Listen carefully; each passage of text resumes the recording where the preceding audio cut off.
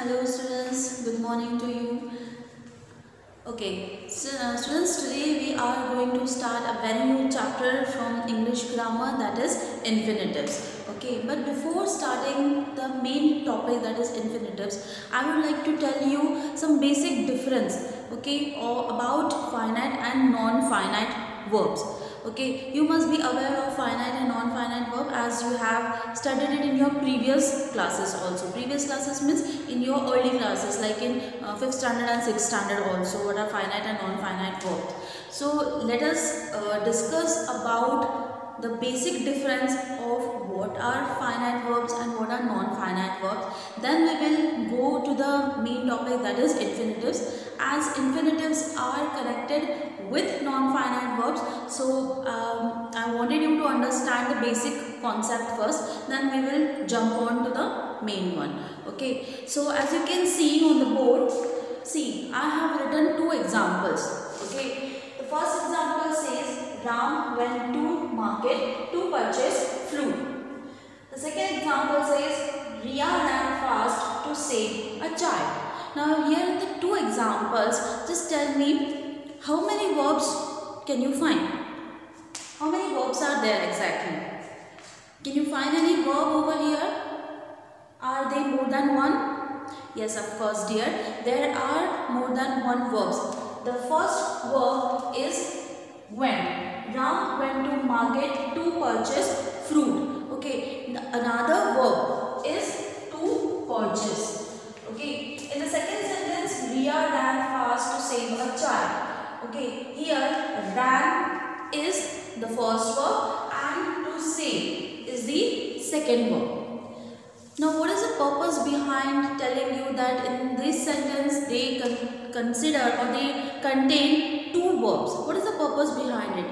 See, always remember when there is a verb which comes after just after the subject. Which is the subject in the sentence? In the first example, it is Ram. Ram is our what? It is our subject. Similarly, Ria is our subject. Okay, it is our subject. And the verb which comes just after the subject are called as finite verbs. What do we call it? We call it finite verbs what is the purpose of second verb? See, the verb which do not come after the subject, okay, these are called as non-finite verbs. Okay, these are called non-finite verbs. This is the basic difference. Okay, this is what the basic difference to find out to find out which one is the finite verb and which one is the non-finite verb. Okay, are you getting my point? See, what I have written over here in the first example, Ram went to market to purchase fruits. Okay, now what I am saying here, went is the first verb and to purchase. Okay, to purchase is the another verb. Now when a verb which comes just after the subject is called as finite verb and the verb which do not come after the subject are called as non-finite verb. Okay, so this is the basic difference where you need to understand what are finite verbs and what are non-finite verbs. Now, there are certain, you know, identification or uh, I would say there are certain things that you need to understand how you can identify whether a sentence is having a finite verb or it is having a non-finite verb. Okay so uh, let us check it first. See uh, the first identification okay how you are going to identify whether this particular uh, finite and non-finite verb thing how you are going to um, make it clear in your mind. let us see. I have written over some examples over here. These are very few examples few basic examples see the first example says I study English to improve my communication. Okay. Next says I am studying English to get a good job. The third one says she will study English to enhance her communication skill. The fourth one says she had studied English to become a good speaker. Now in the all four four sentences, one thing is common. And what is this? There are they are having two types of verbs. Okay, so not two types of. They are they are having two verbs. Okay, so what is the reason? What is the purpose of uh, you know uh, considering two types of verbs or two verbs in a sentence? Let us find the first thing that is how many verbs and which are the verbs. So as you can see, this is what I study. So study is what is your first verb. Okay. I study English to improve my communication. To do what? To improve. This is your another verb. Okay. Similarly in the second sentence, I am studying. Am studying is your first verb and to get is your another verb. In the third sentence it is saying she will study English to enhance her convocation skill. Okay, so will study to enhance. Okay, these are the two verbs that have been included in a sentence. In the last one, it, it says she had studied English to become a good speaker. Now, she had studied to become. Okay, now here, what I have underlined or what I have highlighted are the two verbs the first one was the basic difference. The see the first one the first verb which comes just after the subject. Here subject is what? I. Okay i study. So here study implies to what? This is finite verb. Okay what did i told you? That the particular verb which comes just after the subject okay is called as what? Finite verb. So all these, all these are what? Finite verbs. Okay. Now on the other hand, which do not come after the subject are considered as like to improve, to get, to become are what? Non-finite. Okay, are what? Non-finite verbs.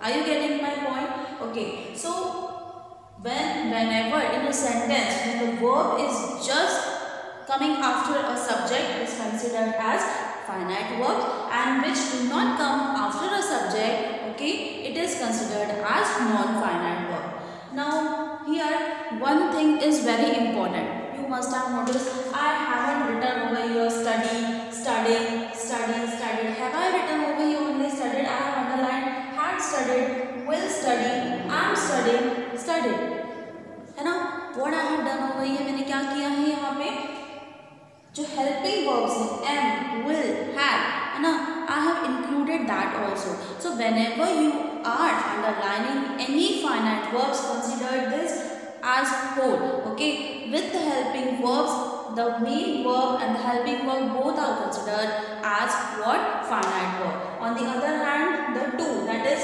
infinitive okay to infinitive to improve to get to enhance to become here it is considered as what? Non-finite. One more uh, thing that to be noticed is really very important and you need to pay a very keen attention over here.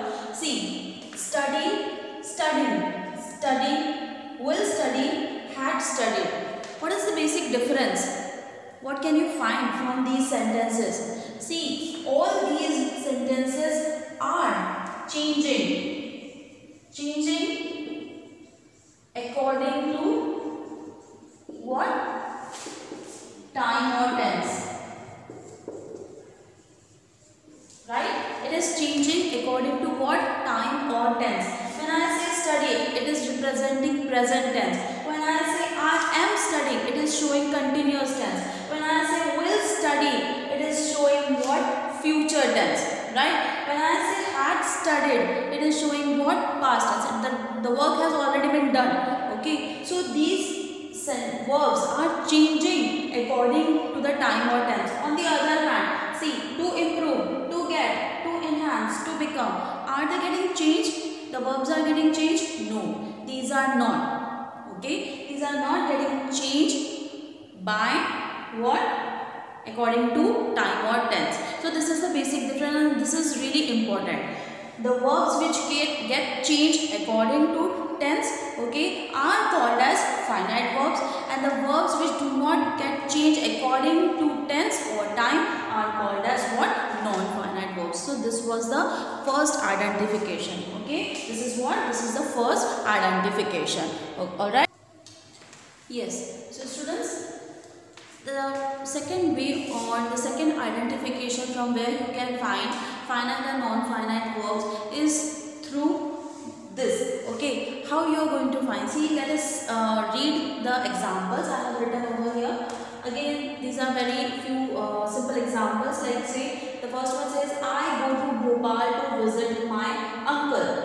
She goes to bhopal to visit her uncle. She has sorry he has gone to delhi to meet pm they have gone to delhi to meet pm the very first thing that we are going to do is find out the verbs okay? So the verb which comes just after the subject. I is the subject so go. Go will be what? The verb okay? And to visit will be the second verb. Similarly goes and to visit she goes to Bhopal to visit her uncle okay so goes will be the verb after the subject she now here you can find variations right अब तक आपको variations नहीं दिख रहे थे अब आपको various variations दिख रहे go to Bhopal to visit my uncle on the other hand I am saying she goes to Bhopal to visit her uncle okay so what is the variation you all know subjects like particularly singular and plural they vary. They vary in each with each other in the form of verb. है ना like uh, singular subjects like he she it or anyone name. Okay? In on the other hand plural subjects is i we you they or where more than one name is involved. Okay? So what is going on here? There is a variation. You can see when i say that i i is what? Here it is plural okay plural form of subject. So it is going with the verb go. Okay on the other hand when i say she okay she is representing what? A singular subject. So here singular subject goes with the verb goes. Okay so here you can see the variation. Okay so whenever whenever there is a variation okay you can find uh, in the verb. If it is you know changing according to what according to the number of subject or it is changing according to singular or plural type of subject so then the first verb which comes after the subject is called finite verb आप समझ रहे हैं पहला जो verb आएगा जो कि change होगा किसके अकॉर्डिंग सब्जेक्ट यानी कि नंबर ऑफ़ सब्जेक्ट के अकॉर्डिंग आइदर सिंगुलर और प्लूरल ठीक है उस पहले वर्ब को हम कहते हैं finite verb so all these go goes has gone have gone these are what finite verbs these are what finite verbs on the other hand you can see there is no change there is no variation to visit to visit to meet to met in the number of subject have been change there is still no change in the second verb so these are what these are non finite verbs. These are what non finite verb this is the way how you can identify okay how uh, particular finite and non finite verbs can be identified okay these are the simple things these are the simple basic differences कि जहाँ से आप find out कर सकते हैं that how the, uh, the particular verb is a finite one or a non-finite one okay so when when we talk about non-finite verbs that gerunds and all uh, particles sorry participles and um, um, particularly in infinitives what is the top, topic uh, is we will discuss it okay but I wanted you to understand this first ये बहुत ही basic है ये आपको समझना ज़्यादा ज़रूरी है ठीक है एक बहुत ही इंपॉर्टेंट सा डिफरेंस है स्टूडेंट्स जो मैं आपको बताना चाहती हूँ ठीक है मैं एक और एग्जांपल देती हूँ दो आइडेंटिफिकेशन हमने देख लिए हैं है ना बेसिक आइडेंटिफिकेशन में हमने क्या देखा कि फ़र्स्ट जो है है ना? वर्ब जो आता है just after which come which comes just after the subject is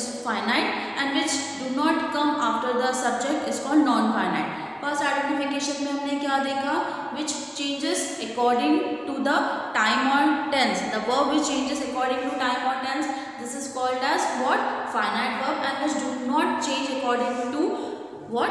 Tense is called as non-finite. On the other hand, which the verb which get changed according to the number of subject okay? Singular or plural. So that is what? It's a finite verb and which do not get changed according to the number of subject is called non-finite. Now but there is uh, one thing that will you know make you confused.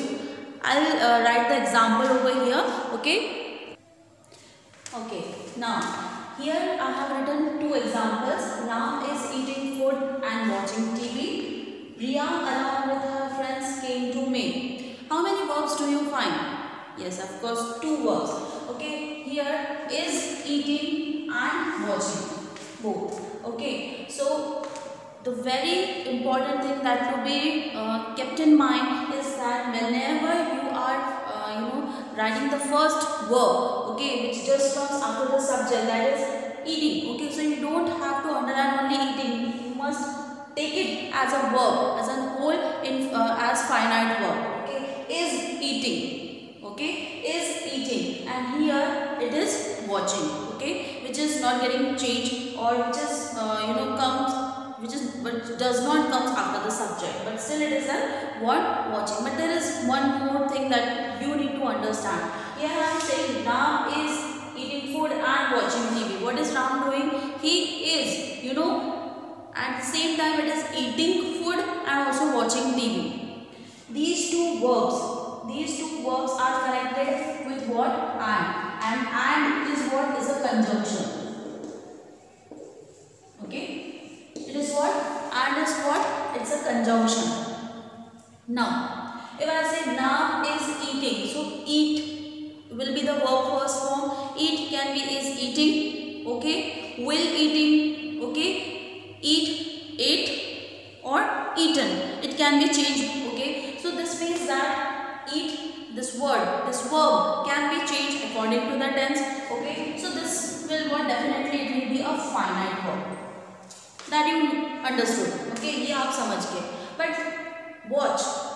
This can be also changed. Watch, watched, will, what will be watching or um, uh, has watched you know this word is also changing according to the tense. Then how we can take it as both finite verbs?